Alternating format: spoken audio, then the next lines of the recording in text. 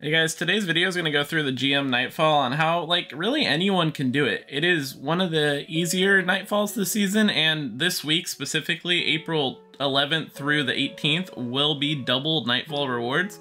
So it's a good week to get in there and farm out some GMs and get some Ascendant Shards and some Hung Juries and other sorts of weapons. So to start it off, we have this opening area. It's just a bunch of ads, honestly. There's not much to do around here. There's two champions to deal with, one unstoppable, one barrier. Just mow through all the ads, kill the unstoppable, kill the barrier.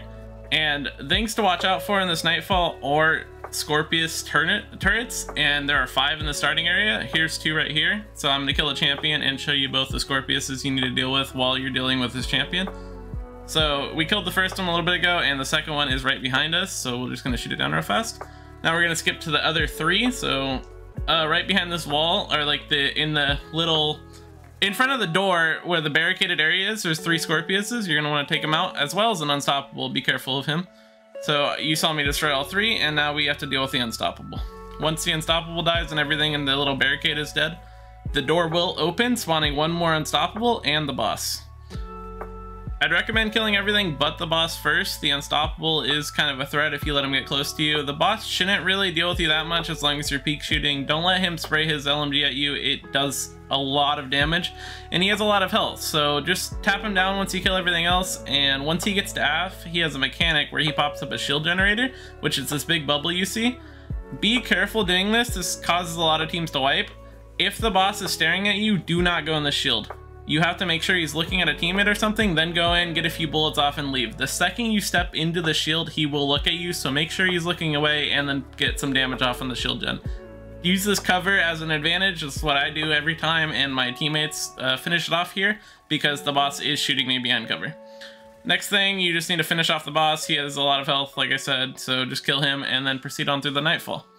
Next room is this garage room after you like walk a little bit of ways and you can sit up top here honestly to kill most of the ads in this room but what my team and I do we're gonna drop down and first thing we're gonna do is kill these snipers on the left and right these snipers do do a lot of damage, so you need to get rid of them as fast as possible. Next thing to get rid of is the interceptors. They will one-shot you, so they need to die fast, and then you can start worrying about the champions and the yellow bars in the room.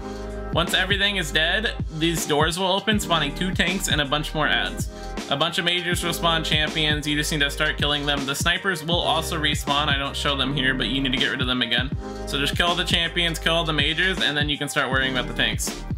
Once the tank, one of the tanks dies and you're left to one of them and you get them low enough or you kill all the majors, more ads will spawn. As you can see, I wasn't ready for it. You just need to back up to the back of the room again and start picking them off one by one again.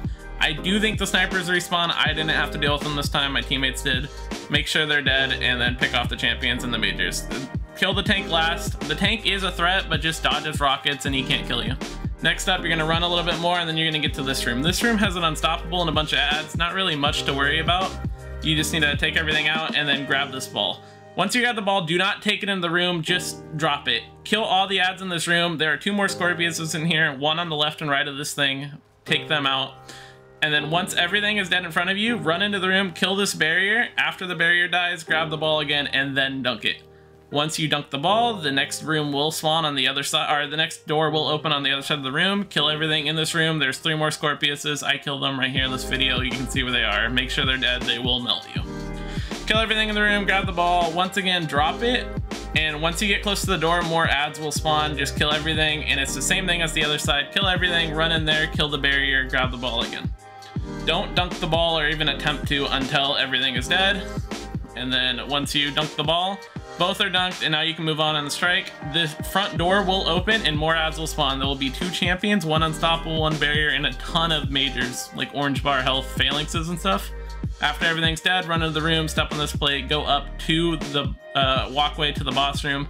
Once you get in the boss, you what my team did, we can stay back here. You can stay towards the front of the room by the door, but we decided to come back here towards the boss because the fireballs are a non-threat back here. When he fires the fireballs, we can hide in the tunnel and they will hit the wall and they will die. You can just stand back here. Fireballs can't really hurt you because you can hide in the tunnel. Just keep damaging him. He has a lot of health. Shoot the fireballs when you can. And just play it super, super safe. I, we were damaging with primaries till we got him to a third. And then once he gets to a third, two champions will spawn. Two unstoppables, one on each side of the room. So what you want to do is insta-kill the one on your side of the room and then just sit back and kill the other one when he comes over to you guys. The boss will be firing fireballs the whole time, just make sure you don't die to them. Next up, he has the shield gen. You need to destroy it. It's just like the first boss, but it's a little more like easier to destroy. The boss doesn't do as much damage, but he will be firing fireballs while you destroy it. Just maintain the fireballs. Once he you kill them all, run in there, destroy the shield gen, and then back up to the corner again, damage him again, rinse and repeat. Get him to a third of his health. More champions will spawn. Insta melt them. Deal with the fireballs. Just can't stress this enough, be careful the fireballs. So fireballs are team wipers. The boss does move into a different spot when you get him to a third. He goes on top where he spawned. It's not that much more difficult, it's just the fireballs will be coming faster, so you need to make sure you're playing cover more so you can get rid of the fireballs. They do hit the side if you go under, and you don't have to worry about them. We kill this champion without uh, ever shooting a fireball. Once we're done with the champion, we jump up after he fireballs again. The issue with the top is you need to wait for the boss to go on each side. So if the boss is on the left side, you need to go onto the right side. If the boss is on the right, go to the left.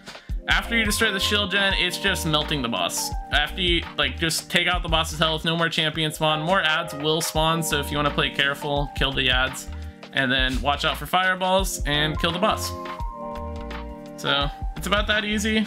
Uh, if you guys need any more help, ask me in the comments. The build I'm using is going to be right here at the top right if you want to use it for your runs.